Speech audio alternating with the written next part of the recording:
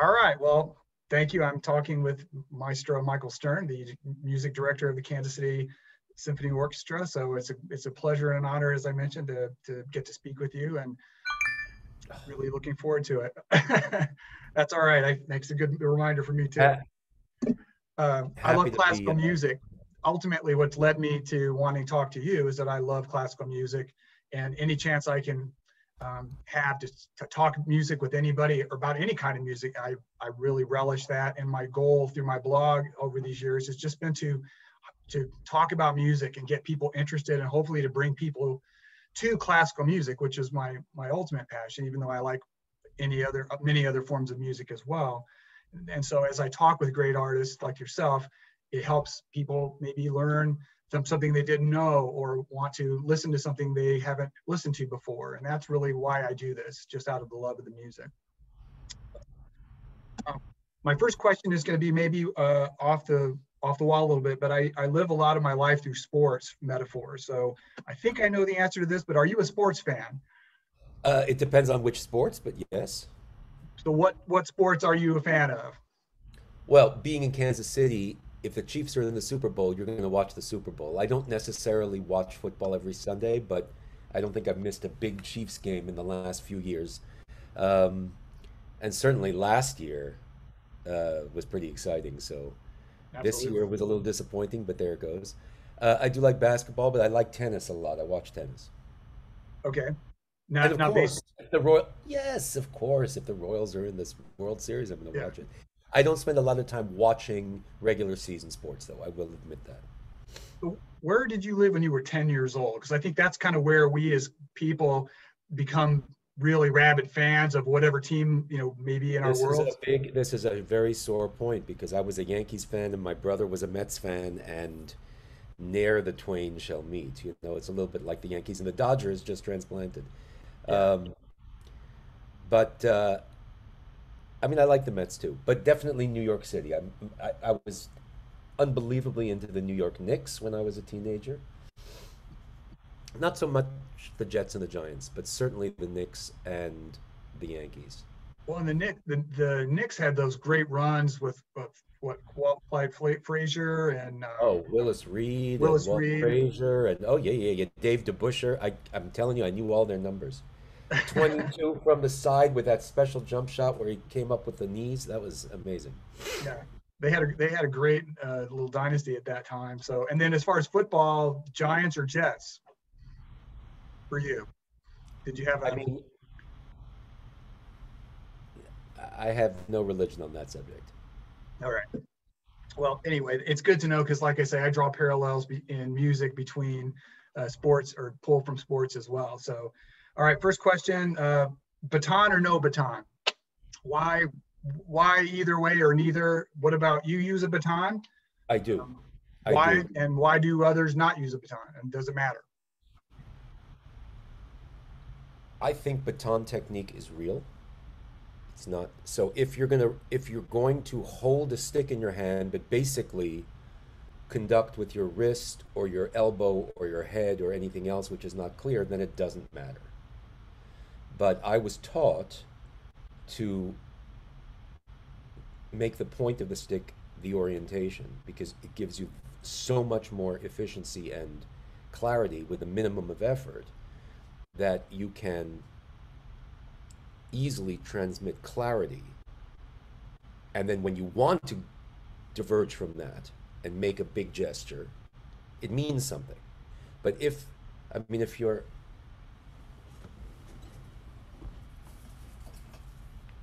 pardon the pencil. Yeah, that's okay. If, let's say you have a, a one, a two beat, one, two, one, two, I'm not even moving, right? And then, and any any musician gets used to that instant. First of all, let me say, there is no absolute in this, and it's all nonsense to debate it. And okay. I get tired of people getting, you know, very didactic and and preachy about it. Preachy about yeah. it. So, but I do think there are, um, when you look at somebody like Leonard Bernstein, who was known for his theatrical emoting. and he's all over the place and everything is moving and he's dancing and he's jumping and so forth. Lenny had great ears, and if something was not together, he instantly would stop and do this. And then it comes together.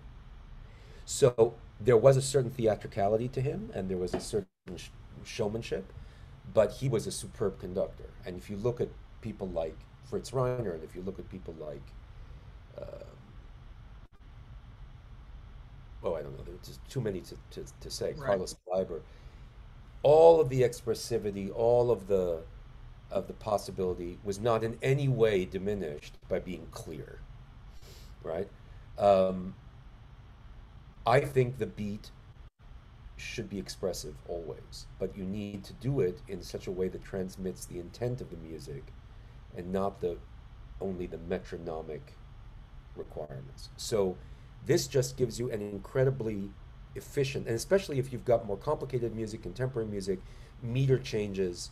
If you're doing one, two, three, one, two, one, two, one, two, three, one, two, one, two, three, one, one, two, it's so much better than this. Now, mm-hmm. if you're going to conduct like this, one, two, one, two, you don't know what's up, what's down, and you're just holding the stick, it doesn't matter. But if you use the point of the stick, then it does matter because, like E. E. Cummings, who knew perfectly well when to capitalize something or use a period or use a comma, the fact that he didn't made it possible for him, when he wanted to, to insert a comma and have it mean something, right? So if you've got this as your basic vocabulary of gesture, it doesn't preclude you from just going all out. But if you're jumping around all the time, people will stop listening or looking, and then you're stuck. Less is more. like that. So I think a lot of people that don't know classical music, they see this guy on the on the stand waving a baton. They don't know what is going into that. So I'm always fascinated by why is it or how is it? What's the the voodoo or the magic where if you could have the same orchestra, um, you have conductor number one conduct, conductor number two comes up, conducts the same piece with the same orchestra, and have a completely different sound experience. How is that possible? What's going on there? There, there is a little bit of sort of unspoken psychic chemistry. I think there's also a question of trust, but it also depends on what your philosophy is. Um, as a human being, right?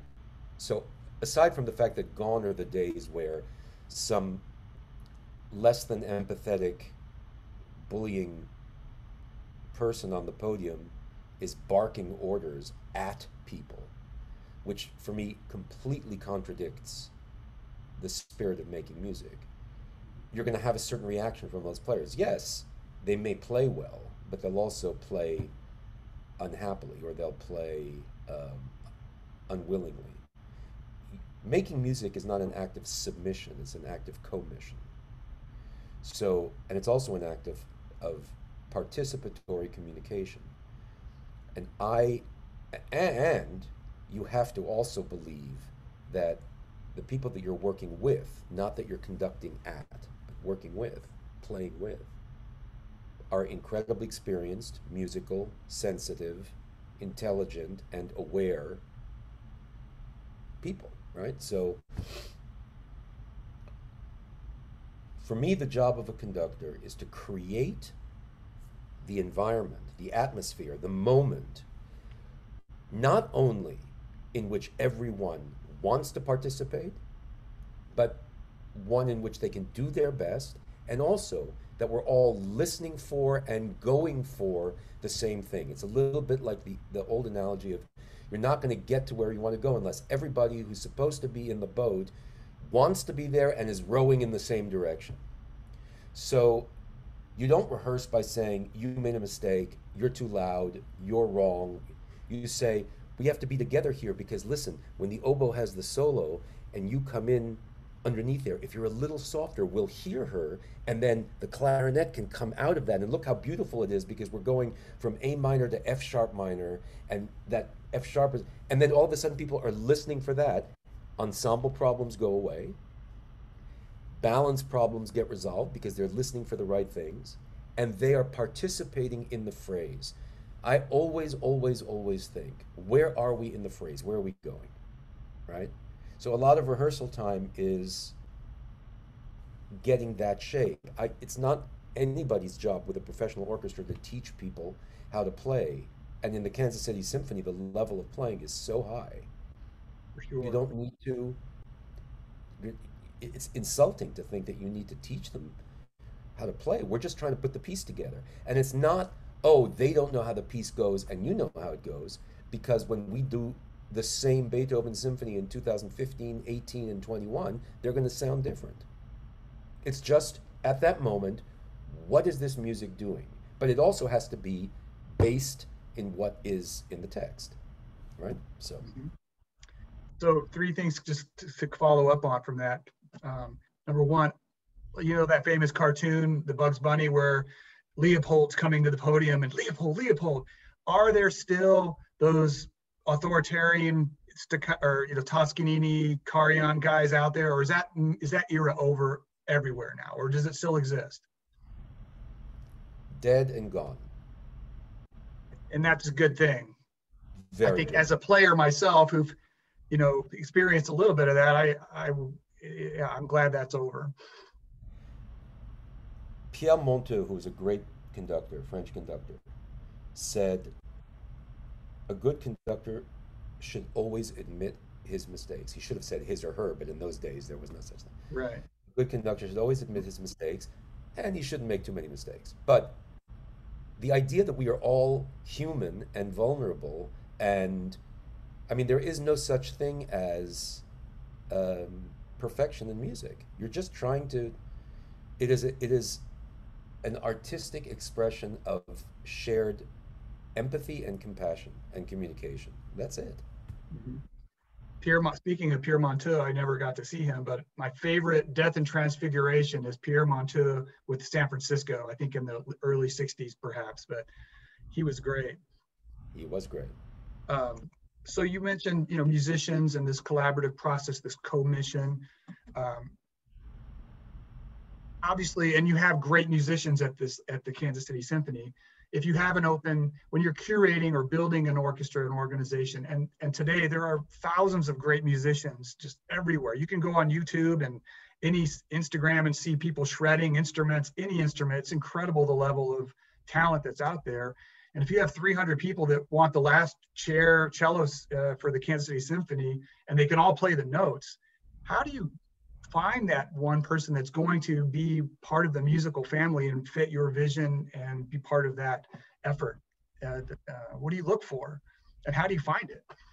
Well, we have been very, very lucky at the Kansas City Symphony in our audition process.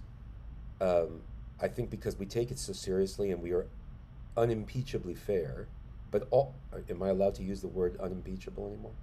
Unimpeachably fair, but I, I will be the first to admit that everybody's auditions, including ours, are imperfect because you can either get more information and try to make more of a determination, but you're taking away the fairness of it, at least that part of the fairness that is now based on anonymity, or you're, you know, choosing in the dark, and then you have to wait and see through the probation period how it works out in terms of how they fit in the orchestra, both musically and as colleagues.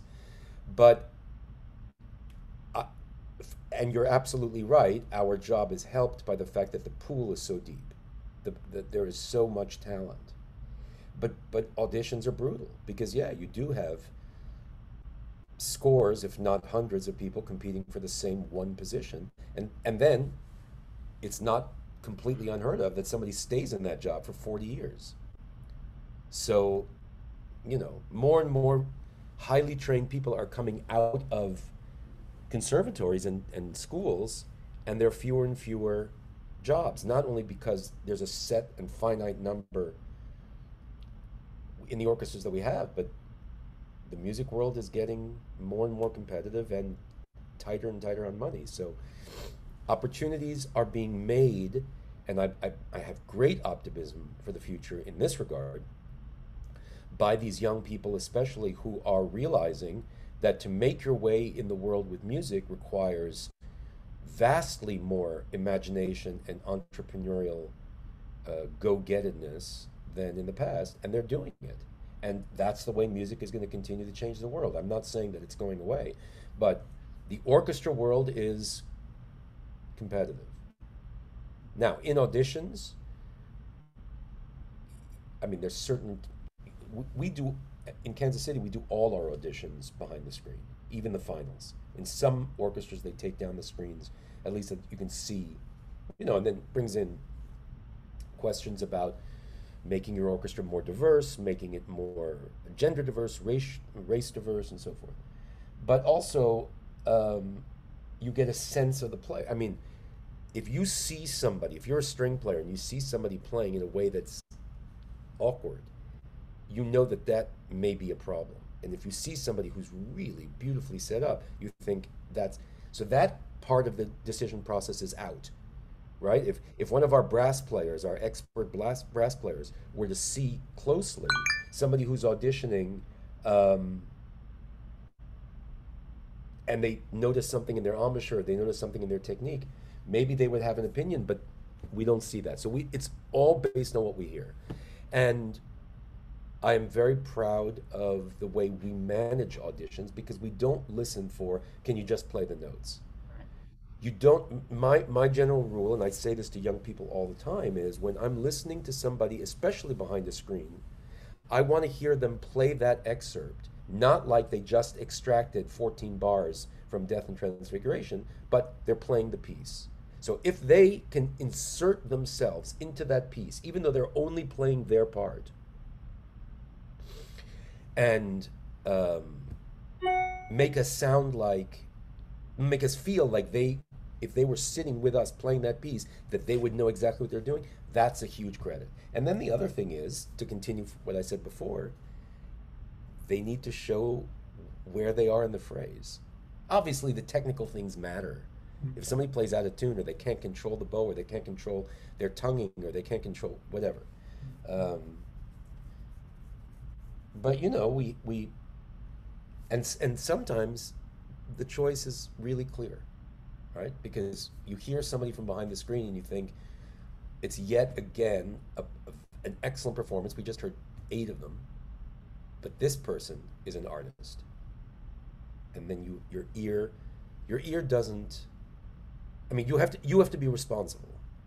You can't come to the auditions super tired or dismissive or i mean you're choosing somebody who may outlast you for a long time. Certainly as the conductor a lot of the players who auditioned during my time are going to be in the kansas city symphony for decades after i'm we've hired some very young people But um,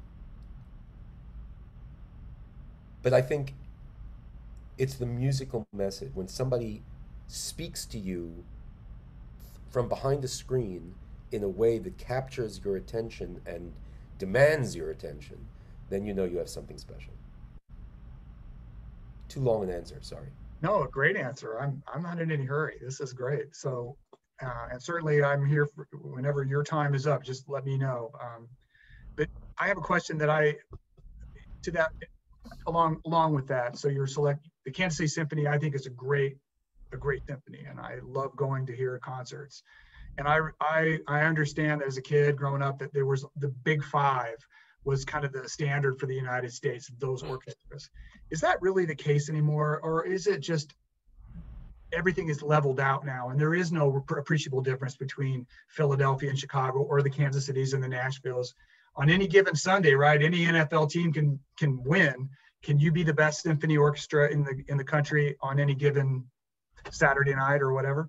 Well, I'll I'll I'll say first of all with great confidence that the idea of the Big Five is ridiculous. Good.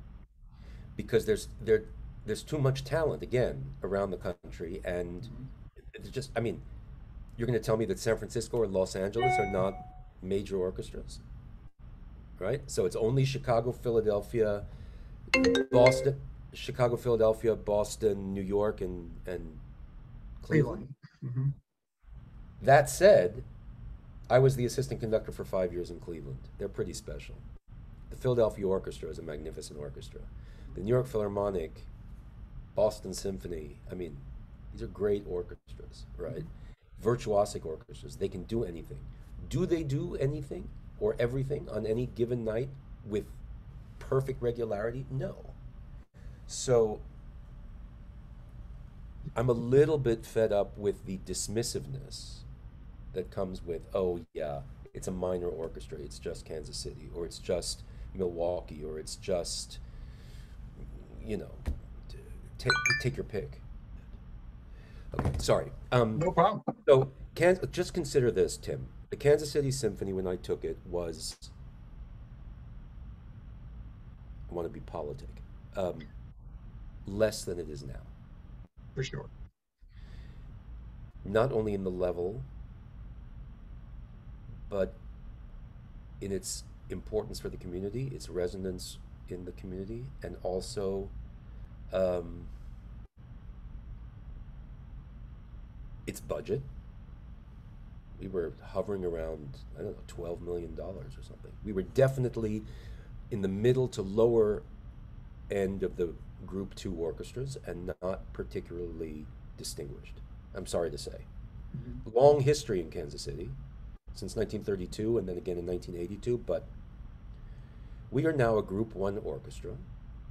We are financially more stable than almost any orchestra in the country. We have an incredibly loyal base of audience and subscribers, and we play like we play, which is unrecognizable from when I took it over. So if there's one thing that I can say, you know, I'm proud of the work that we've done together, but I'm certainly proud of the way the musicians um, have reacted. I mean, look what we've been doing in this COVID time. Yes, it's been mostly strings only. We're starting to inter- intersperse some winds because of the contagion factor of aerosol droplets and so forth. But um, we've gone through an enormous amount of incredibly difficult repertoire on very little rehearsal, with a lot of social distancing, with masks on.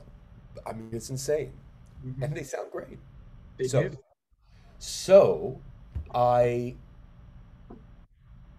I also firmly reject the idea that our national musical landscape can survive with five mostly East Coast based big musical centers. It's nonsense. First of all, music is not just Eurocentric or symphonic centric. There's great music happening across the spectrum. And you can go to every single corner of every single little place in in the entire country and find great musicians, like you said. Not just orchestral musicians auditioning, musicians, right? Um, in every genre. So, as a musical culture, and especially if you believe, as I do, that it is inconceivable that we can have a healthy educational system or even a healthy society without a shared musical experience, then the idea that there should be these centers of excellence and everybody else gets the, the crumbs is nonsense. And I would say that there are orchestras with much bigger budgets than we who don't sound as consistently good as we do, as we can. We, we have to earn it every time. And that's another reason, you know, it's a little bit like, you know, the Avis we try harder thing, but it's also we're not complacent. We're not complacent, complacent in our administration. We're not complacent complacent on stage. We don't take anything for granted, and we have one of the most enlightened and informed boards of any place that I've ever seen, and I've seen a lot of them. And I think that that makes an enormous amount of, of difference. I give huge credit to the board, starting with the way Shirley Helzberg shepherded us, then Bill Lyons, who was unbelievable, and now Pat McCown, all of the directors, and the way they are complicit with us in wanting excellence and preserving, you know, the stability of the orchestra, but also the the meaning of what music can can do in the community. And then, of course, you know, 19 years with Frank Byrne was transformational, and I was honored to partner with him. And now we are in a new chapter where we're only looking forward. You know, Danny Beckley started two years ago, and and um, my goal always, always, was to leave the orchestra whenever that was better than when I found it. And now that end of the tunnel is is sort of in sight, but it's not there yet. And I promise you, right now, what is it today? March fifteenth, two thousand twenty-one. Correct. The orchestra is not as good as it's going to be on the last day of my music directorship. Um, do you have time for a couple more questions? Sure. Uh, so, that, drawing on a sports parallel, you know, like a golfer maybe or a tennis player, there are times, or a, baseball pitcher, they go out and normally they do their thing, and if, especially if they're great, it seems easy and they they have a good outing. But there, uh, I've heard Sandy Koufax talk about there's those couple starts a year where even he took them out and he didn't have his best stuff. He couldn't find the strike zone those are the starts where he said he really learned how to pitch when you got to grind you got to throw your, your original playbook out the window so have you taken the podium and when you do in these situations where you don't have your best stuff or the orchestra doesn't and you have to grind how do you get through that process or does that happen uh, well what do you mean by grind exactly well I, I think they just mean that like if you normally are going to do a b and c but you can't you can't go fastball, curveball. You got to go change up and something else. I mean, I, as a music, maybe the you're you're not hearing each other well, or maybe the this doesn't feel right, or the tempo got. Uh, uh, uh, I don't know if you've ever started a tempo that you didn't mean to start uh, uh, down that way, and you're like, oh shoot, we're going too fast. Have you ever had to adjust? In a how do you, in a rehearsal? In a performance. Yeah, it sometimes it happens, but the, first of all, we are human, right? So you aim for a tempo. Sometimes you're a little tired, sometimes you're a little excited. There's a little more or less adrenaline. There is this incredible buzz from the from the audience which gets you jazzed up, whatever it is. Um, and there are t- look, there is the domino effect. And sometimes there have been very few and far between, but one little thing go, going wrong begets another little thing going wrong, and before you know it, it's like holy shit. It's like Wah! Um, but then the the inverse is also true, which is you've done the Friday performance, and you come on Saturday, and you're in the exact same spot, and for some reason that hush of the diminuendo and the beginning of the oboe is like, whoa and that inspires you to do something a little differently. So you zig and zag. In terms of tempo, the, the, the ability, first of all, you have to be a good enough conductor and a good enough player to be able to react quickly. And I think we are. And secondly, there's trust, right? So if there is a moment where things are a little behind, and if you push, you know, a, a really great conductor never slams on the brakes or s- steers the, the steering wheel abruptly to the right or jams from second to third gear. There's always this kind of right, and you see this kind of uh, give and take, which is always on the breath. So my my philosophy of conducting is, yes, gesture is important, and I was very lucky to have an extremely good pair of teachers who taught me very different things, but they were incredibly complementary. Well, they would they they all taught the same. They both taught the same things, but one emphasized one thing more, and the other emphasized the other thing more. That was Max Rudolf at the Curtis Institute of Music, and Charles Bruck for a few summers when I went to study with him. And Rudolph was all about hearing and being able to get flow, and but a lot of it was technique. And Bruck, who had a very good technique, but a completely different technique, it was not wrist based. Wrist, a wrist technique is more efficient. Again, because when you want to do a big gesture with your arms, you're not, but if you're always gesturing with your arms and your head and your body, nobody listens, right? So if you're if you whisper and all of a sudden you shout, the shout's going to get attention. If you're shouting at somebody all the time, they stop listening. It's the same thing with gestures. So I have a wrist-based technique. Bruck did not. He was it was a lot of arm. But he was breathing all the time.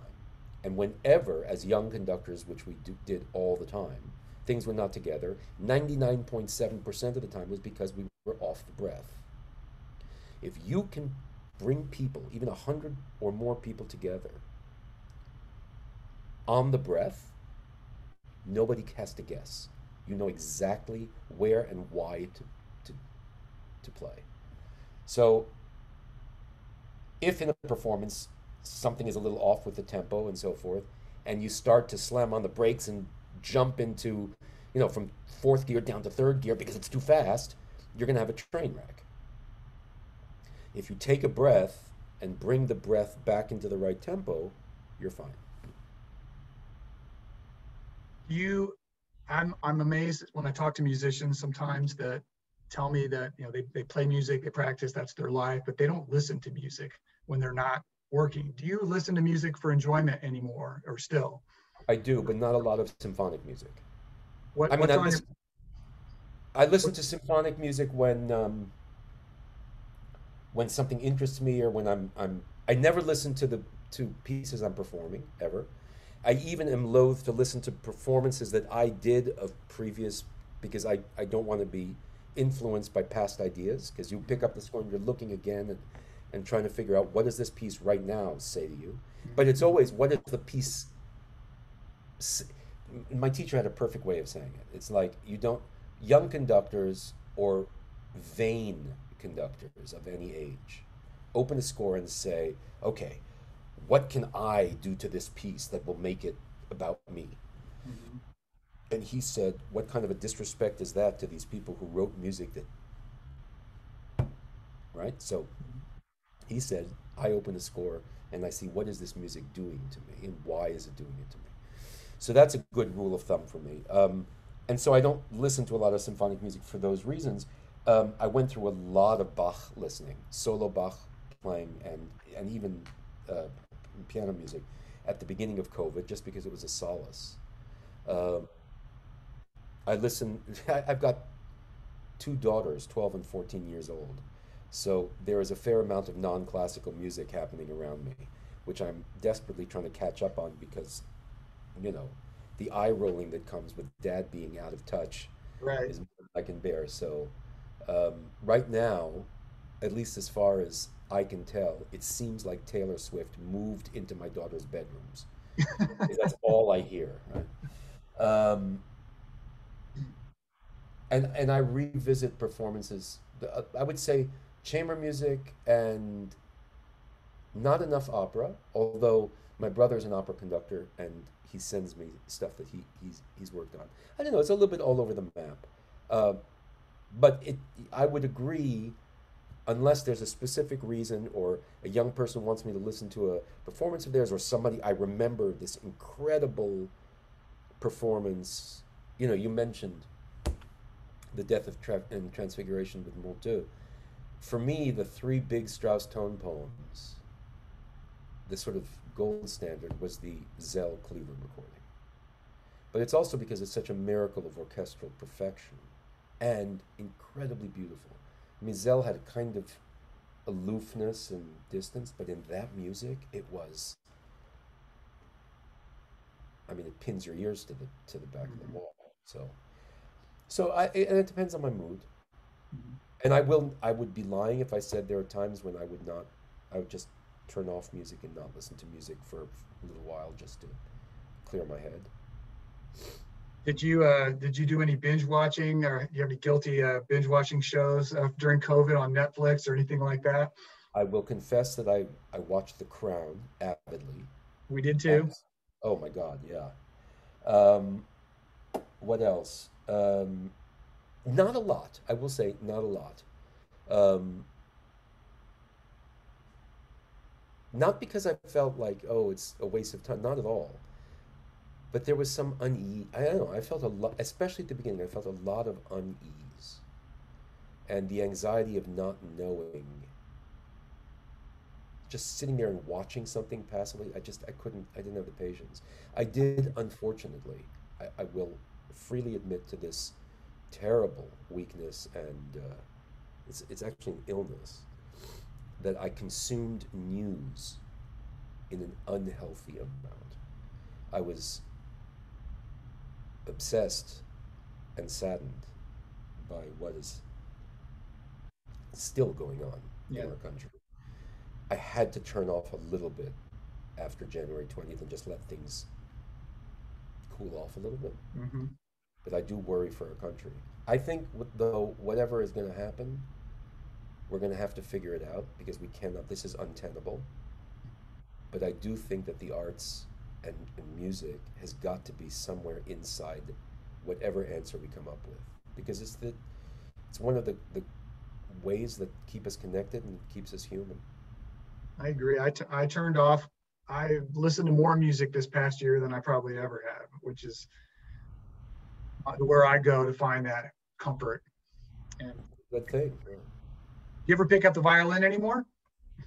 Once in a while, if I'm bowing something, I would do it. And I, when when my daughter was still studying the violin, my, my both my daughters are very musical, but my oldest one is really into. I mean, she taught herself the guitar really well. She's been making extraordinary progress on the oboe. They both studied the piano. My older daughter stuck with it, and she started on the violin and was really doing well, but she didn't want to play, which of course for me was a little heartbreaking. But um, she goes back and forth between piano, guitar, oboe. They both have lovely voices. They're singing all the time. Uh, so when she was studying the violin, I would practice with her a little bit. Now less so, but um, I don't know. I can see a double, a Bach double, the violin oboe concerto in my future with her. So maybe, maybe That'd be awesome. yeah. Awesome. Well, one more quick one or two quick ones. So I'm always concerned about people's health in the music world. So I think I'm always wondering, being a conductor is a really physical job. You're, you know, and I'm wondering year after year, what do you do to stay in shape? And do you notice like, oh my God, you know, three, you know, all these rehearsals and every service year after year is harder on your body? And are you noticing a change as you get older that you have to adapt in a certain way? I'm noticing a change as I get older. and I don't think it has anything to do with conducting. I mean, none of us is getting any younger. Right. Um, I, my big regret in COVID is not exercising more because I had the time to do it and I decidedly let that slide. And uh, although I must say my cooking and baking skills got much, much better because I really. I took, well, I took, I took the situation very seriously in terms of the safety for me and my children and being divorced, my kids go back and forth, so I had to be very careful. So I spent a lot of time in the kitchen with them and in preparation for them to come back. Um, let's just say we ate more than we exercised. At least you ate well. But I think, I mean, there is a certain stress management that you have to have when you're in a professional life. Um, it was, I tell you though, it was kind of a revelation not to be on a plane every week and not to, I mean, I was home more and and home more with them than I ever had been, and that's a gift. Absolutely. What about your hearing? You're right there with this sound coming at you all the time. Does it, do you wear earplugs? Does it ever hurt your, you go home and have ringing in your ears From a rehearsal? from a re- rehearsal or from a, a performance? No. No. I know that there there are real issues for musicians on stage if they're close to very loud orchestras. You see some orchestras with plexiglass shields around them and so forth. Um, on the podium, you, I mean, when something is truly too loud, you you balance it and it, it sounds bad in the hall, but it's not. I mean, I should- there are, there are examples. There there are pieces. I once did. Not in Kansas City. We haven't done the piece yet, but there's a wonderful piece actually, but it's extremely noisy, by Edgar uh, Varese, called Amérique, which features an air siren in the middle of it, Oh, wow. which is extremely loud. That's a little painful, but normally no.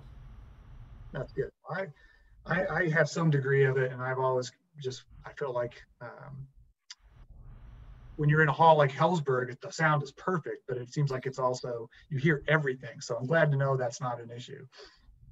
Um, and you're a coffee drinker, not, do you drink tea as well? When I, I can drink tea, but I am definitely, definitely a coffee drinker. Do you make it with a press or with a Keurig? How do you get up and start your day? How do you make your coffee?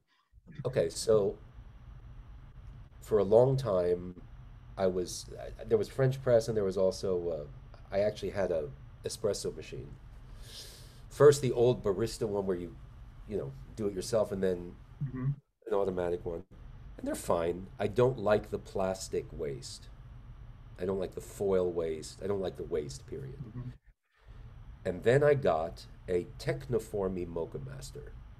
Hmm. Kind of changed my life. It's still pour over drip coffee. It is absolutely the best coffee I've ever had. It's not the most expensive machine that you can buy by any means. It's hmm not the cheapest either. Um, it's incredibly consistent. You need a good burr grinder for sure. hmm You need to grind fresh every morning. Yep. But the but the Technivorm and Moccamaster is so fast that from filling the water in the machine, grinding the beans, and having a full pot takes about seven minutes. And it's great. I also have a Chemex pour over, hmm old fashioned, very old school. hmm You do what you got to do. But you know, when the when the need is great and you're in, you know, on a 15 hour drive and you stop at a gas station somewhere, you're going to get the coffee and you're going to drink the coffee. It's terrible, but drink it. It's coffee, yeah, nonetheless. So, well, listen, I I won't keep you any longer. I've really enjoyed having this opportunity to talk and um, hear what's going on with you. I can't wait for live performances to happen again. Any any thoughts about any guests or hints when that may be? Well, we are absolutely hoping that September is going to happen. We sort of understood that we were not going to have audiences this year. We tried to formulate some plans to get them going. It wasn't going to happen. So, um, we're planning a full season next year. We're going to have, you know, guest conductors to start looking at possible music director candidates. We're going to have great soloists. I'm going to try to recoup as much of the programming and the guest soloists that we lost in this year. Um, just and and if something really goes south over the summer with spikes and surges, and Mhm. we'll deal with it. But you know, I think I I think it's it's somewhat of on the one hand, it's a tragedy and embarrassment the way we handled our response to COVID, Mhm. and there's a lot of blame in some very specific places to to think about. But it's sort of silly to look backwards, and at the same time it's kind of amazing that these vaccines came to light in the time frame that they did. So you have to give credit where credit is due. There's never been a situation like this, and it gives me hope for the next pandemic, because the next pandemic is coming. Right. Because the environmental effect on our human population and on our planet is eroding our ability to fight these viruses. They're they are dispassionately uh, unprejudiced Right.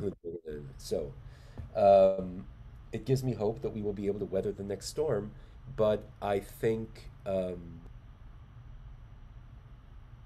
i think that we will come out of it and we will have this season next year I hope so. I hope so. Well, thank you very much for your time. I wish you all the best. I look forward to seeing you on the podium again, whenever that is. And thank you for everything you've done for for the uh, orchestra here and the community. It's it's just been amazing what you've done. Well you're very kind and i do look forward to welcoming you back in the hall and i look forward to reading the blog Absolutely. I can't wait to get it ready. great Have a great day. you too tim thanks Appreciate it. bye Bye.